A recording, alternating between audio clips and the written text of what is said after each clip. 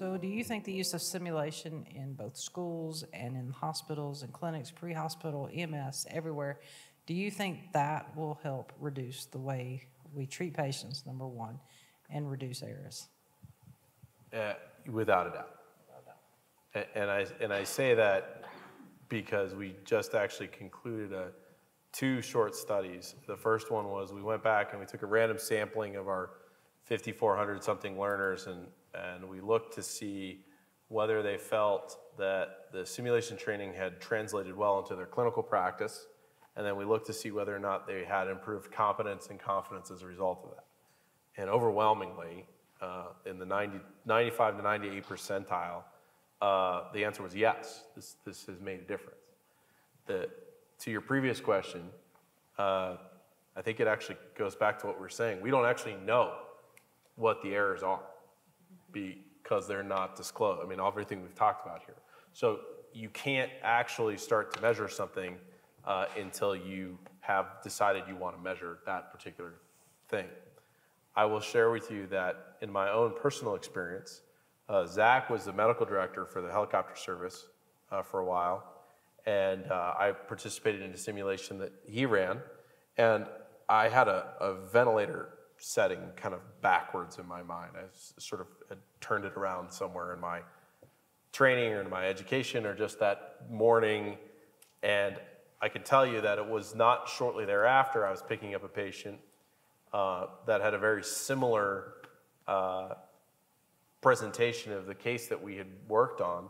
Uh, and I'm confident that had I not had that simulation experience uh, with somebody who knew what they were doing, who could help create an environment for me to not feel threatened, but to be inviting to engage and to think differently.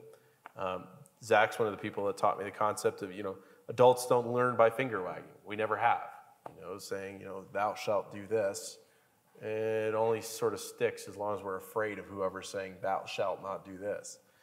It's only when we create an environment where we invite learners to come in and say, we'd like to show you that there's a different way and explain why, and you can choose to engage in that or not. It's up to you.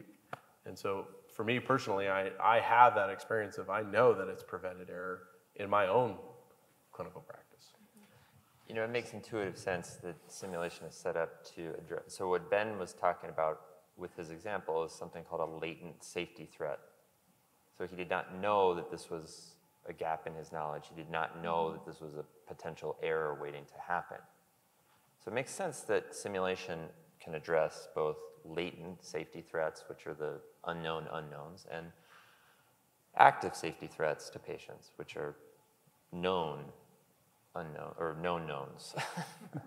Getting all Rumsfeld here for a minute. Um, you know, so I, I do think just to kind of put some technical terms on what he's describing, simulation is definitely well positioned to address those things. And I think that um, in terms of improving the patient outcomes, I think that the active safety threats are the things that we know about these catheter associated UTIs or C. diff transmission or uh, wrong site, wrong med. Those are active safety threats. The sneakier ones, and I think the ones that we probably don't, again, have a way to quantify and just exist underneath, uh, you know, underneath the covers until we run a case that exposes them or the latent safety threats like like Ben was just describing. So, um, you know, I think it, it's not just addressing something that you know to be a problem, but it's exposing things that you don't know to be problems. Yeah, it's a, it's a good question because if a helicopter crashes, there could be up to four or five fatalities. If a plane crashes, there could be hundreds. And what we're dealing with is one at a time with, as the film said, people who are already sick. Mm-hmm. And then each one is it's almost unique, but when in its aggregate, there's trends. And then you go back to what um, I heard a number in the audience talk about was they really gravitate to the Swiss cheese model. So there's systems and there's regulation and there's initial training, ongoing training, and simulation and technologies. And you put them all together, hopefully we're going to be moving in the right direction. I agree.